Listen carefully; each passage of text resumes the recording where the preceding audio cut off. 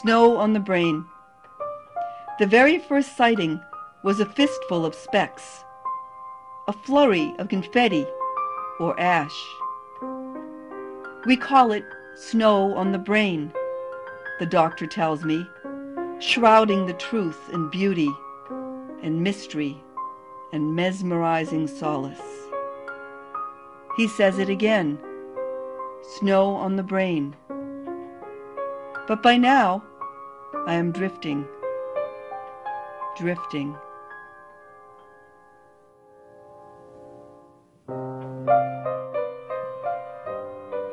Acceptance. The eye hides inside the skull's planet, buried deep like a seed or a stone.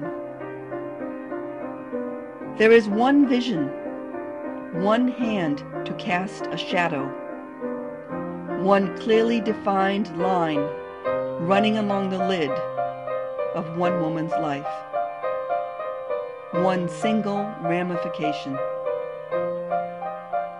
Below the eyes, a murky triangle of white has surfaced. A merciless reminder of the senses which have not yet petered out.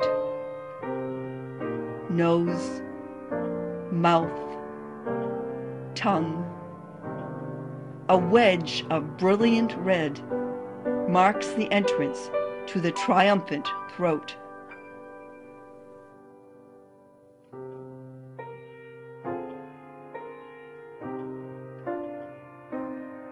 First MRI. Thumbprint. Bog. Gully. Cataract floating across the brain. Prehistoric bloodstain. Eye of the storm. Shockwave. Afterbirth. Cross cut of an ancient oak. Tail end of a reoccurring dream blue-green swell writhing inside the body.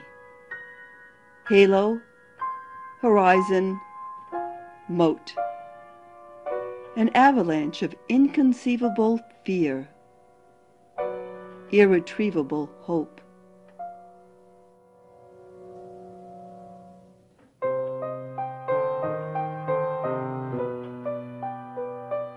Virus. A single thread escapes from outer space and finds its way into Marguerite's warm, lush body. Ecstatic with the comforts of home, he settles in and quickly learns the capacity to breathe. And without effort or thought, he begins to grow the semblance of limbs. One claw-shaped hand, opened permanently, like the mouth of a wrench. On the other side of what has become a plump, seal-shaped body is an almost human arm, an almost human hand, a wing about to flap for the very first time. From the body's center, another appendage sprouts, red hot and obscenely defiant. A malformed phallus, perhaps, or the hard, mean butt end of a gun. Even the thing itself, the renegade virus, does not understand the awkward appendage. He does not comprehend the malignant ache for violence which now occupies his once innocent body. He tries to recoil from this thing which has become him, but he cannot escape the swampy halo of white which encompasses his entire being. All is not lost, though. All is not devoid of hope, because the thing which was once a mere thread, an innocuous bit of nothing, has grown the most magnificent legs, hot pink and lobster orange, swirling into shapes only God himself could begin to imagine. Running freely, bending in ways nothing else has ever bent, sashaying to the ecstasy of this new-found planet, this luxuriant abode, this sanctuary, of Marguerite's majestic body.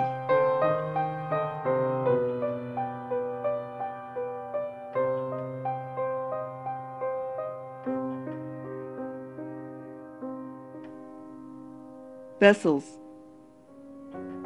Browsing through a book on Chinese pottery, I see the most captivating vessels, blood red and summer squash green, and my mind turns to the images of my brain taken by the MRI machine. What qualities do the brain and vessels share? Who can read the intricate, minute crazing that scars and maps their faces? What wells of wisdom and deprivation have they held? What love and art and magic potions churned inside their bellies? What dreams have brewed and bubbled over, forming random pools of light and chaos? Who will feel the need and own the passion to gather up the pieces and, without thought or apprehension, begin again?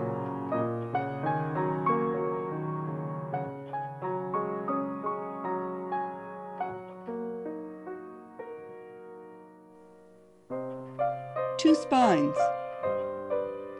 Like the inner workings of a car, before MS, I took my spine for granted.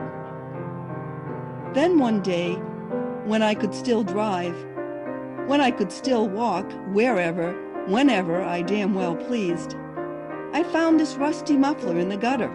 I dragged it in its long, crooked pipe home to my garage.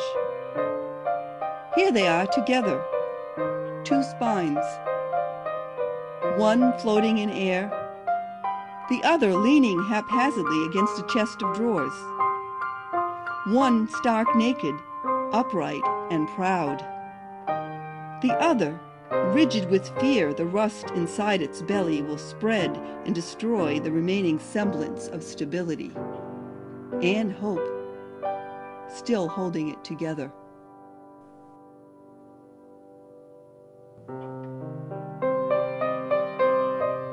Crow. Crow, peering in, looking on, perched precariously on a sea of white. Crow, the narcissist, reflecting all I have refused to admit I know. Crow, bearing witness to the darkest side. Shamelessly gnawing at the core of my threadbare pride. Flaunting his crow black affiliation his utter addiction to all that is dead or dying. His hungry beak plucks me blind. Crow's incessant cawing threatens to puncture my meager peace of mind. For a moment, I imagined that my tasty morsel of a brain is locked inside a heavy globe of glass, like the star growth inside the paperweight that stares up at me from the corner of my desk. For a moment, I tie this thing called hope to the tail of a kite and watch it soar. For a moment, I envision Crow seething at the possibility of his own horrific journey, his own appalling demise. Crow waits patiently to feast on my soul.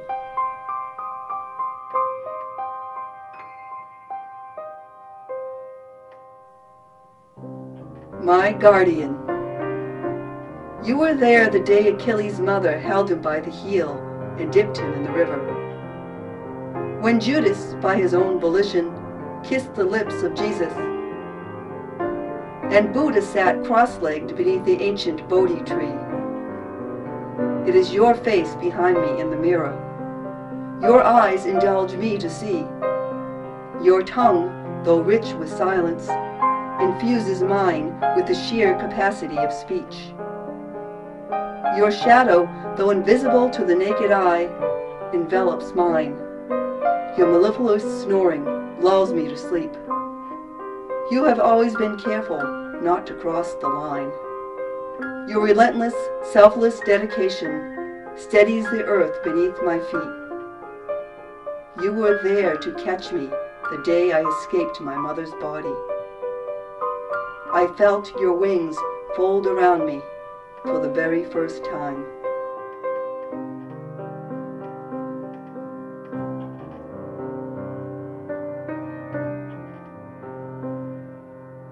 Trying to walk. In what is blithely referred to as midlife, I'm expected to learn to walk again. But unlike the child who innocently discovers the magic wands inside her legs, I am a newly hatched robin being nudged from behind by a pitiless, impatient mother. Go ahead, she squawks. I've had enough. My arms flap madly as I teeter on the edge. I feel my mother pushing me from behind each time I lose my balance.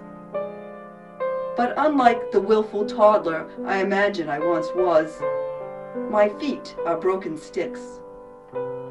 My legs are hollow stumps. My wings are snapped in half.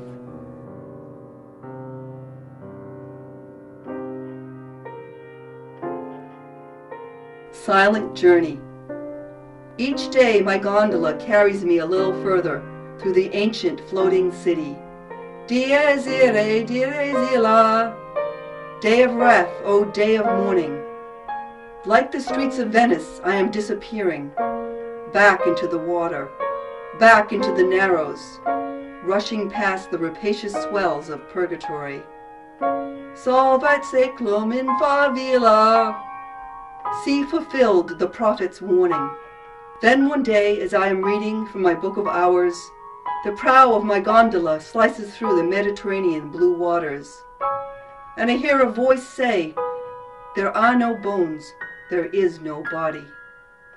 Teste David cum Sibylla, heaven and earth in ashes burning. There are no words that can or will describe this silent journey.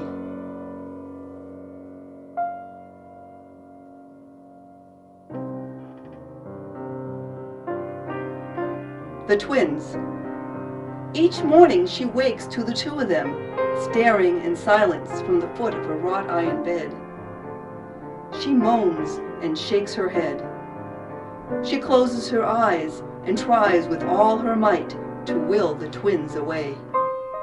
Run off and play, she clamors, knowing full well their interdependence is insatiable and complete. Even though she knows it is necessary to begrudge them, they are as much a part of her as are her arms and legs. Get out of bed, the twins demand. She grants herself one last sigh, then does as she is told.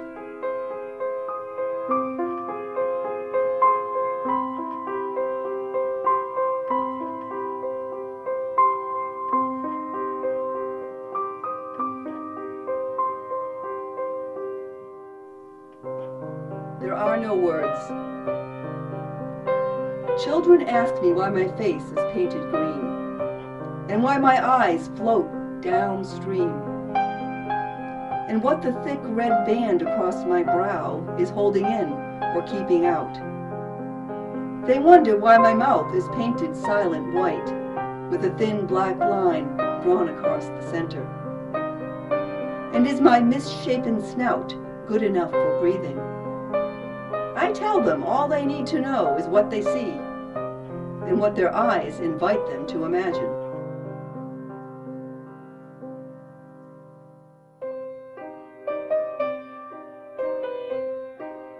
These are the shoes.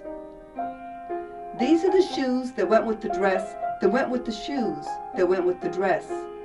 These are the shoes before the MS. Pink satin heels, shimmering with sequins, elegant emerald green, robin's egg blue, smooth soft gray like the skin of a dolphin.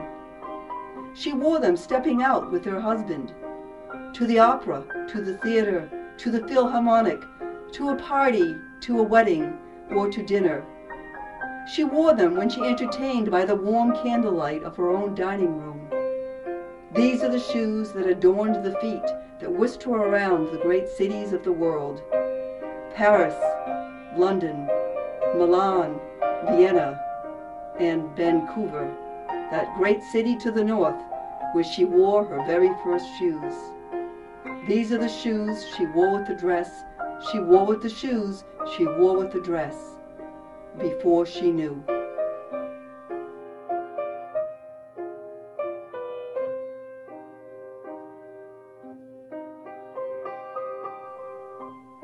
Silent Scream She wakes each morning, holding her breath, as if to dam the torrent of pain rising inside her left femur.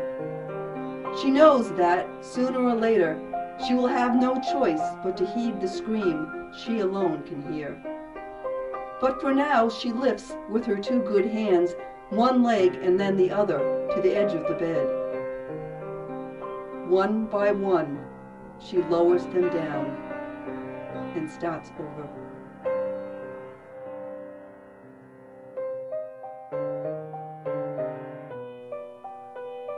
Number 10331.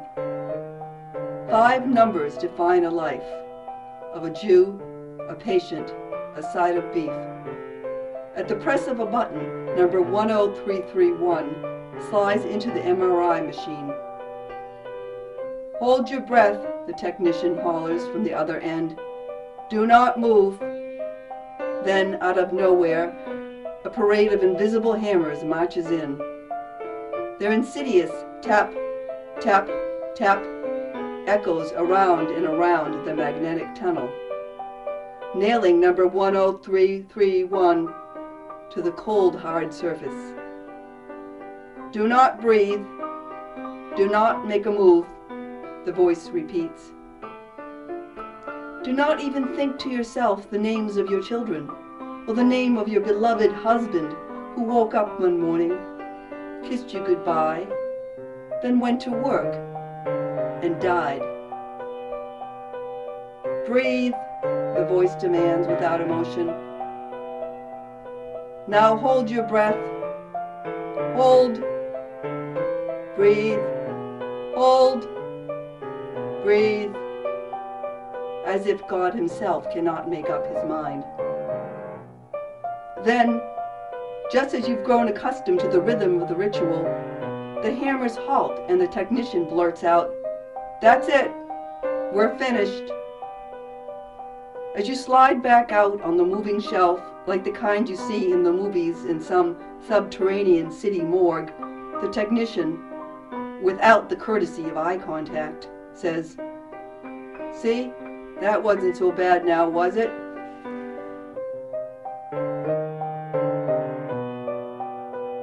Ladder. I know now it does not matter what mask I wore as I was climbing up or down the ladder. It does not matter how high I climbed or what weight I bore upon my shoulders. That's all past. Now there are only fine-hewn rungs, held together by this life we are bound to suffer and transcend. There are only hands and feet doing what they do best. Grasp